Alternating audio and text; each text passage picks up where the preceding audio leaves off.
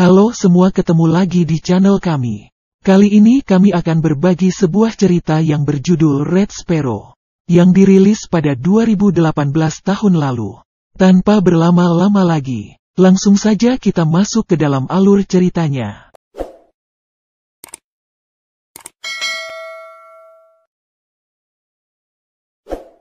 Di awal film kita akan ditampilkan seorang gadis bernama Dominika yang hidup hanya berdua dengan sang ibu keseharian Dominika.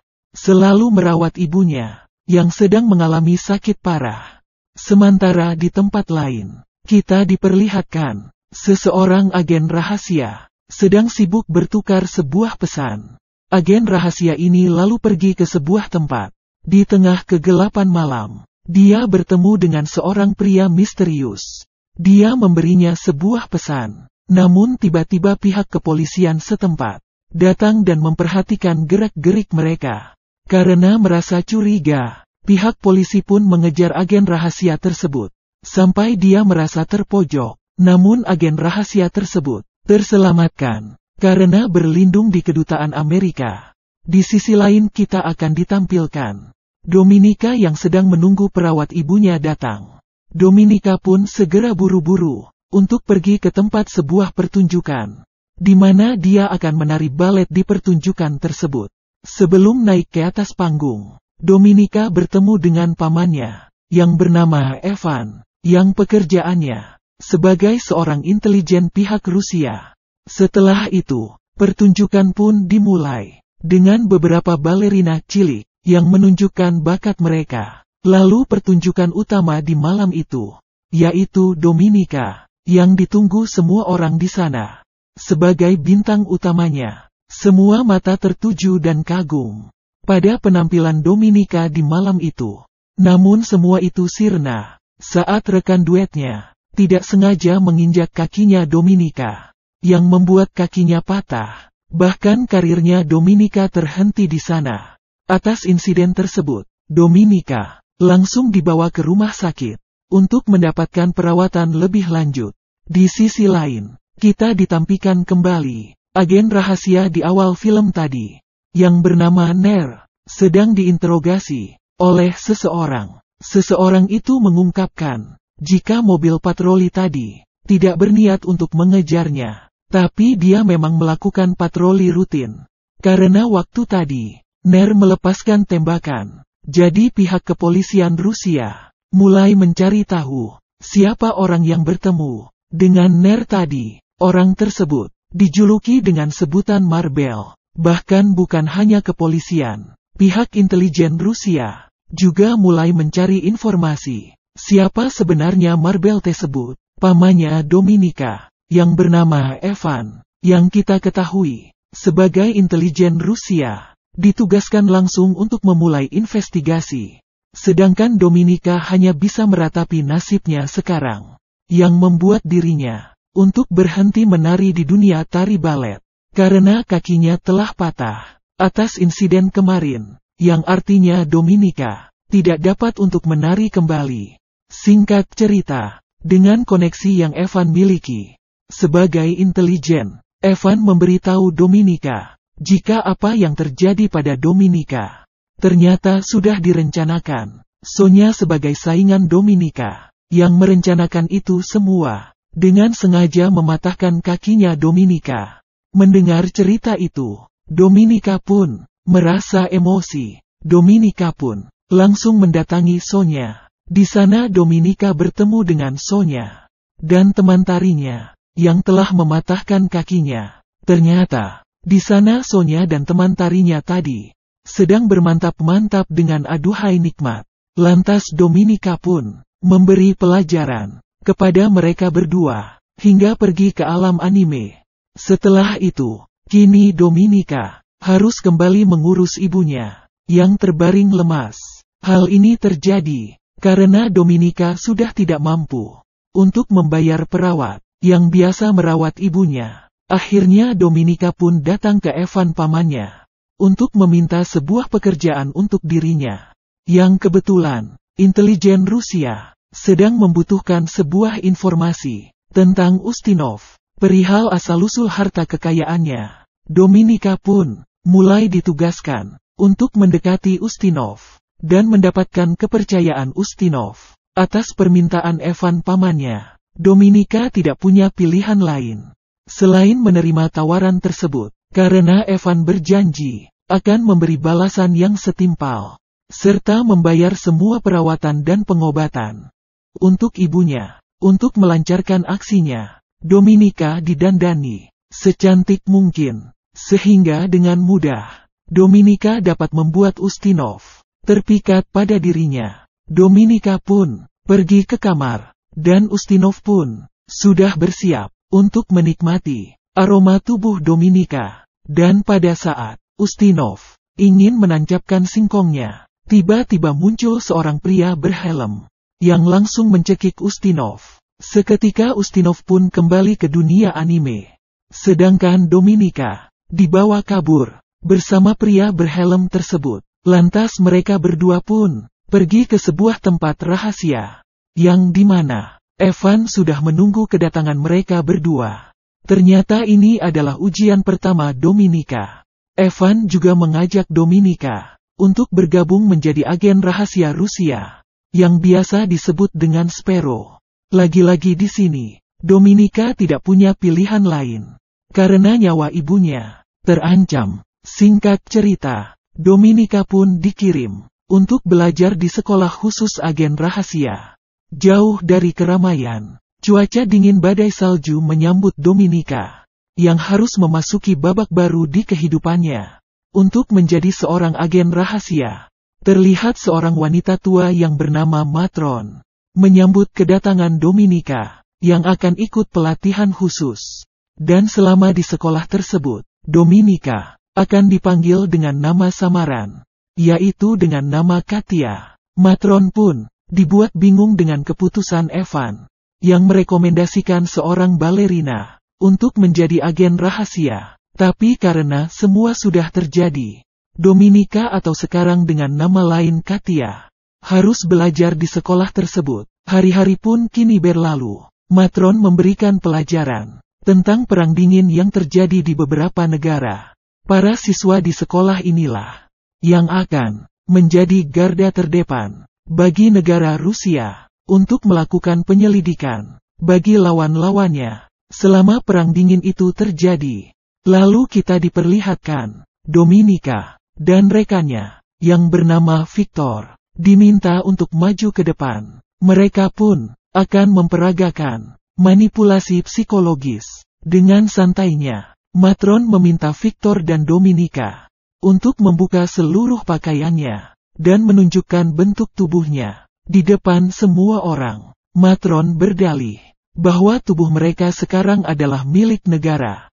Jadi negara berhak menggunakan semua anggota badan untuk kepentingan negara. Selain itu, Matron juga menyuruh calon agen lain untuk menghisap sebuah singkong narapidana. Bagi Matron, semua ini bertujuan untuk melumpuhkan para lawan agar supaya mereka hanya fokus pada keindahan bodi wanita Rusia.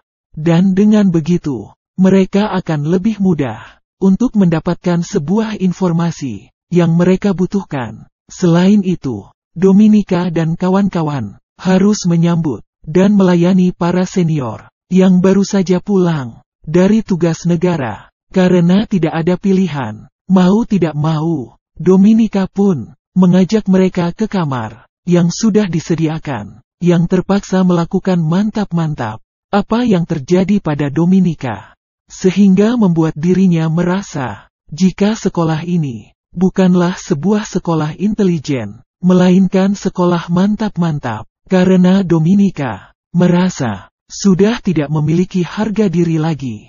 Tapi walaupun dengan keadaan seperti itu, Dominika mencoba untuk melawan. Saat Dominika ditancap dari belakang, tanpa ragu, Dominika melawan orang tersebut hingga babak belur. Sebagai hukuman atas kejadian itu, Dominika harus terpaksa dicicipi segitiga sama sisinya. Di depan semua orang, Dominika pun tidak bisa melawan. Namun setelah itu, setelah menunggu cukup lama, ternyata singkong pria itu tidak mendarat di segitiga sama sisi Dominika. Dan ternyata, singkongnya lemah. Singkat cerita, cerita kembali kepada Ner. Aksinya di awal film tadi, yang ternyata berujung panjang, dan bahkan dia akan dibebas tugaskan. Tapi Ner, tetap berusaha meyakinkan, jika Marbel, tidak mudah percaya dengan agen baru. Akhirnya Ner, dipindahkan dari Rusia ke Budapest untuk sementara waktu. Hari-hari pun berlalu. Matron telah menguji Dominika dengan sangat baik. Melalui pelajaran dan ujian di sekolah itu. Bahkan karena hal ini, Dominika diberi tugas. Lapangan pertamanya, Evan meminta Dominika untuk mendekati agen rahasia yang dipindahkan ke Budapest tadi. Oleh karena itu, Dominika diberikan paspor dan identitas baru, yang bernama Katarina. Dominika pun bergegas dan langsung berangkat menuju Budapest. Sesampainya di Budapest, Dominika atau sekarang Katarina akan tinggal di sebuah apartemen bersama Spero lainnya yang bernama Marta. Dan untuk selama di Budapest, Dominika harus melapor ke anak buah Evan yang bernama Fron dan tak butuh waktu lama, Dominika berhasil untuk mendekati Ner dengan body aduhai yang dimilikinya. Ner dibuat terpikat oleh Dominika.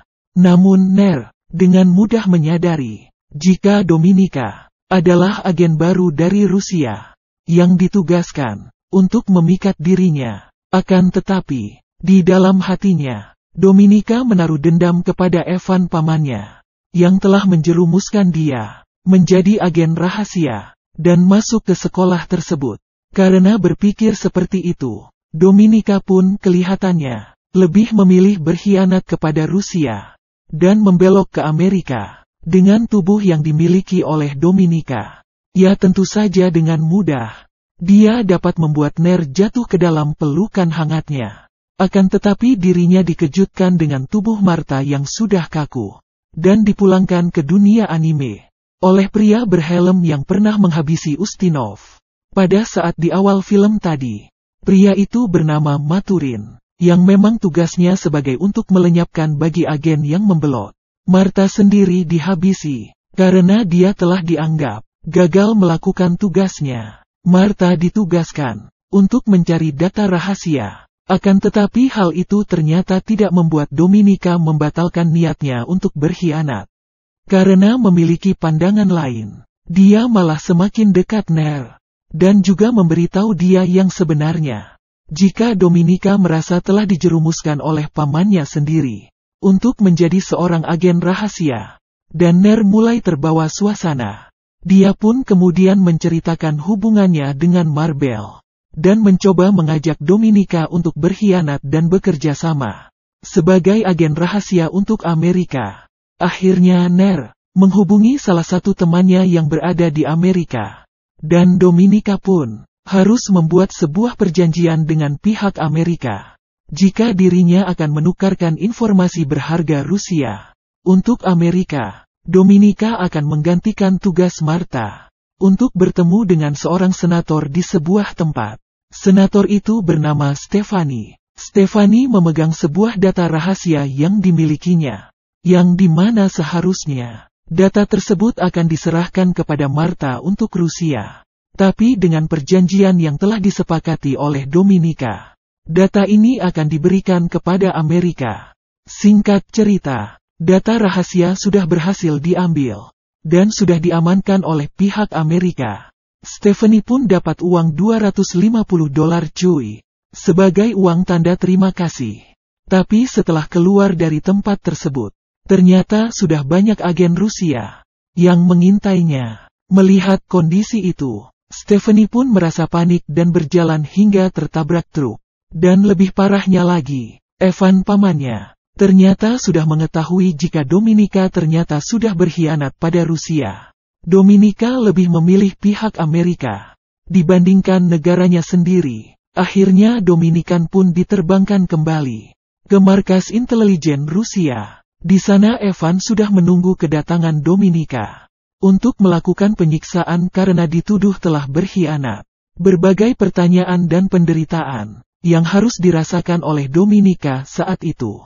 Tapi di sana, Dominika tidak mengaku bahwa dirinya telah berkhianat pada Rusia. Namun karena ada kesepakatan, Dominika pun bisa lolos dan dipulangkan untuk bertemu dengan ibunya dalam keadaan yang memprihatinkan.